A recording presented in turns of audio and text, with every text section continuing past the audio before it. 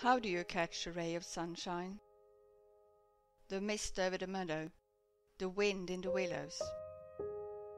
How do you catch an impression, like Monet, Renoir, and Turner? How do you catch now? Claude Monet was the founder of French Impressionist painting in the 1870s. He created a Japanese garden in Giverny, outside Paris, and he was inspired by a woodblock print by Ando Hiroshige from 1856. From his bridge he painted not lily pads, but light and shadows, mist and transparencies. He was in the moment, like a Japanese haiku, a poem catching a fleeting moment, a snapshot of time, in time and place. How do you catch a fleeting moment? Be present. Breathe. What do you see? What do you hear? What do you feel? Haiku is a short and suggestive poem of 17 syllables and three lines or word groups.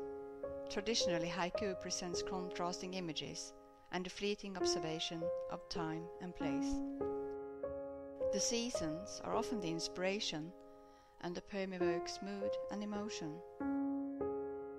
The haiku is usually unrhymed, and the number of syllables are line 1, 5 syllables, line 2, 7 syllables, line 3, 5 syllables. Springtime and cherry blossom is a popular theme for a haiku poem.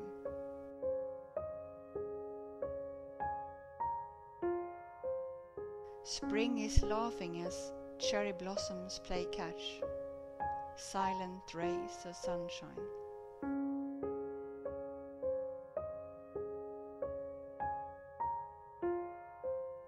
How do you catch a ray of sunshine?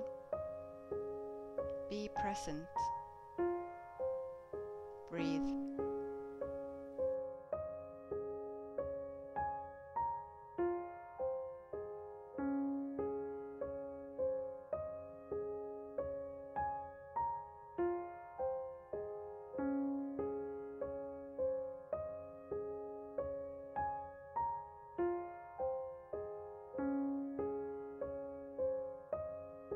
Go for a photo walk.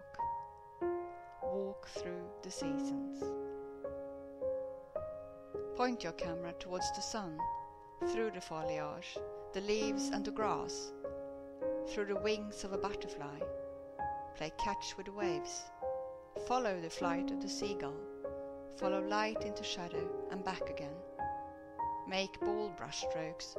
Use all the colors on your palette. The world around you is your canvas. Present.